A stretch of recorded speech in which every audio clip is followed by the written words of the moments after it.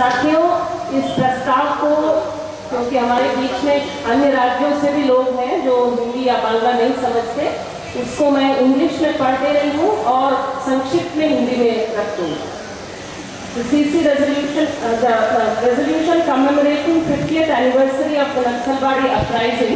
On the occasion of the 50th anniversary of the historic Naxalbari uprising, the Communist Party of India Marxist-Leninist Liberation salutes the innumerable martyrs of the communist movement in our country, rededicates itself to the cause of the Indian Revolution, and calls upon the heroic people of India to further intensify the ongoing struggle against all kinds of oppression, exploitation, deprivation, humiliation, and unfreedom. Naxalbari's historical substance and contemporary resonance. 1.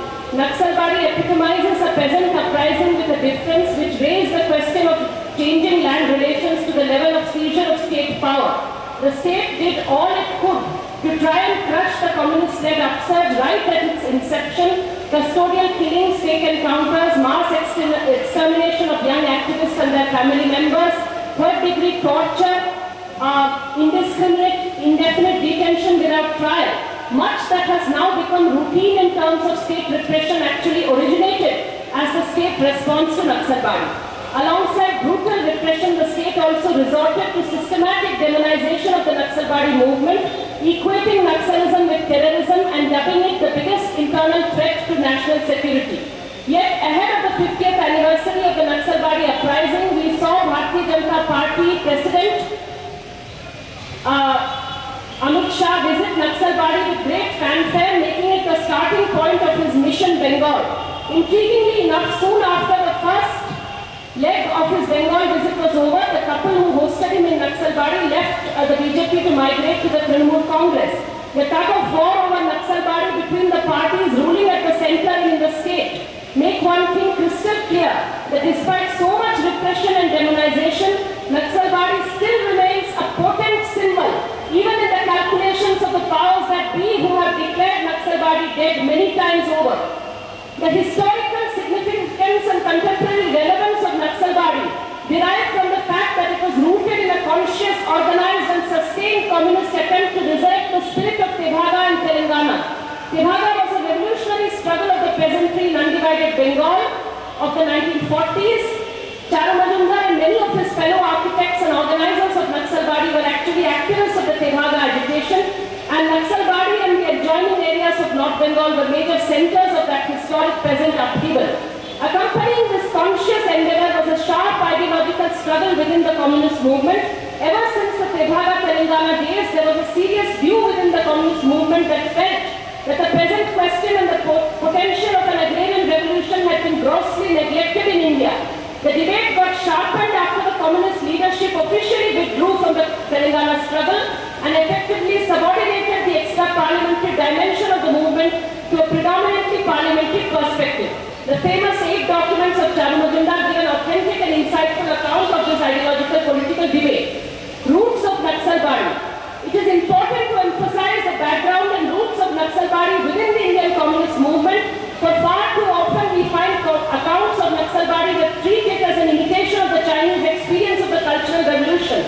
Naxalbari, of course, drew a lot of inspiration from China and the uh, Communist Party of China termed it the spring thunder in India. But we have to appreciate the essence of Naxalbari. We will have to locate it firmly within the Indian context of the turbulent 1960s, the deepening crisis of the ruling classes and the Indian state, and the deeply felt urge within the communist movement to treat the juncture as a revolutionary opportunity for the Indian people. Successive wars that helped place a heavy burden on the Indian people had placed a heavy burden of economic burden on the Indian people. The dreams ignited during the freedom movement dissolved into deep mass disillusionment amid massive food shortage, soaring prices, stagnant agriculture and growing unemployment. Following the demise of Nehru and his successor Lal Bahadur Shastri, the Congress was caught in a clumsy process of leadership transition. The first signs of its electoral be seen with the party losing power in as many as nine states in 1967. In West Bengal too, the Congress got voted out by a coalition government in which the communists were the biggest component. It was against this backdrop that Naxalbari happened and when the state chose to crush, crush the peasant rebellion, communist revolutionaries responded with a call to spread the prairie fire of Naxalbari across the country and turned the 1970s into a decade of liberation for the Indian people. Within two years of the Naxalbari uprising, the architects of Naxalbari had taken the next step of forming the Communist Party, a new Communist Party, the Communist Party of India Marxist-Leninists. The new party which evoked tremendous response among revolutionary communist ranks and spread fast across length and breadth of India stood in sharp contrast to its two predecessors, the CPI and CPM. The CPI had effectively abandoned the Great Telangana uprising, but the CPIML was formed with the declared goal of fostering and spreading the fire of Naxalbari. The CPM was formed through a virtual split within the CPI and the founding members of the CPIM were all senior leaders of the undivided CPI. The founding leaders of CPIML were mostly district level leaders of the CPIM. Most significantly, given the CPIML understanding of agrarian revolution as a key of the democratization of society and the landless poor as the leading force of agrarian change, the new party found a more receptive audience among the oppressed rural poor, mostly Dalits, extreme backward castes and Adivasis in social terms.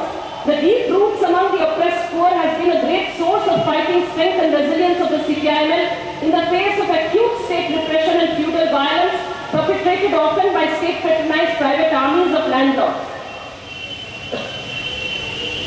The vision of Charu Majumdar. Media analysts often tend to identify the CPIML as what is commonly described as Naxalism, with the specific forms of struggle adopted by the CPIML in its initial phase. The CPIML had characterized the situation in the late 1960s as a favorable revolutionary situation and accordingly revolution itself became the direct agenda.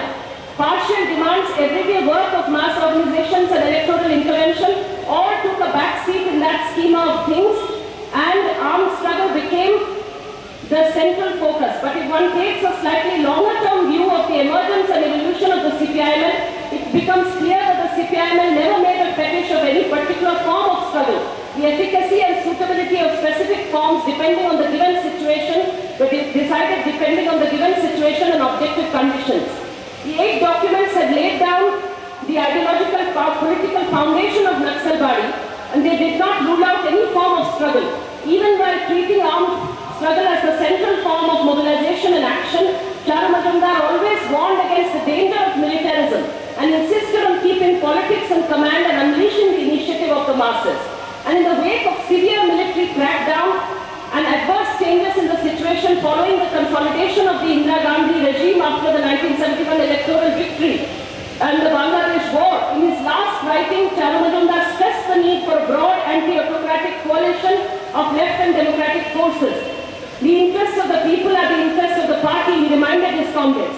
The revival of the CPIML following the massive setback of the 1970s posed a great challenge to the communist revolutionary camp.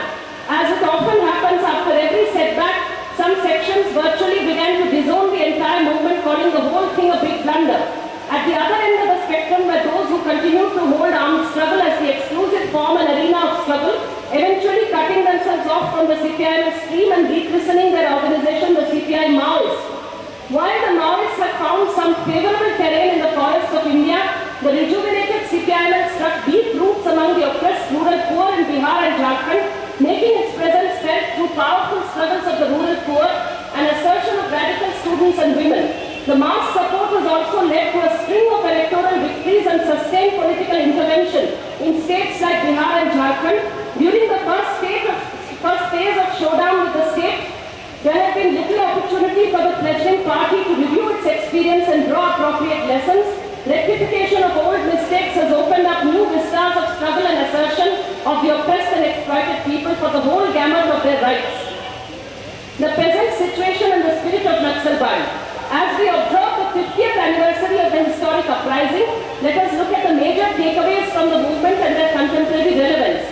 A few points readily demand our attention. Naxalbari was a peasant revolt that had turned the pain and anger of the oppressed landless poor into a powerful resistance. This message of Naxalbari cannot but resonate loud and clear in the face of today's acute agrarian crisis. The pain has taken a heavy toll. Hundreds of thousands of debt-stricken, crisis-ridden peasants have taken their own lives. But the flame of resistance burns bright against every instance of forcible land acquisition and agrarian injustice. Naxalbari was an upsurge of radical youth comparable in its intensity, scale and sacrifice to the role of the students in the freedom movement. Urban students in their thousands plunging headlong into revolutionary politics, fanning into the countryside to get integrated with the oppressed, rural poor and articulating a new diction of people-first patriotism. The spirit of Naxalbari today resonates processes of WTO dictated commercialization and Sanghi subversion unleash a veritable war on the student community and turn every university into a battlefield.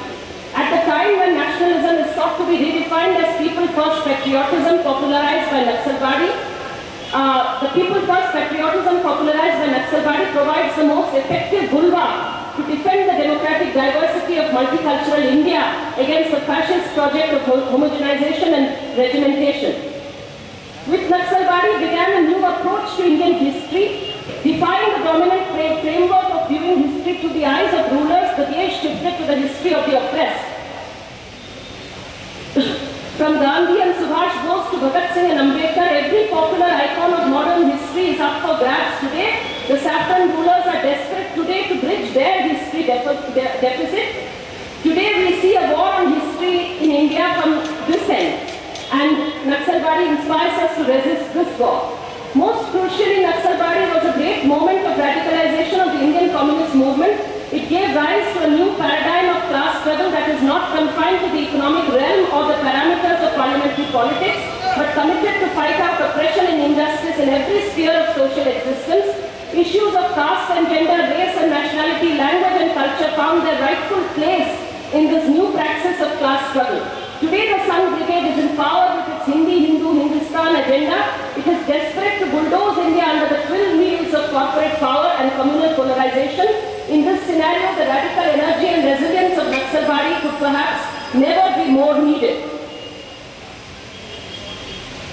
We also pay homage to the role of honor to the comrades who fell to firing by the paramilitary forces on 25th May 1967 as Bengai and to all the other comrades who led the historic Naxalbari uprising and who laid down their lives in the process of building the Naxalbari uprising and the fledgling.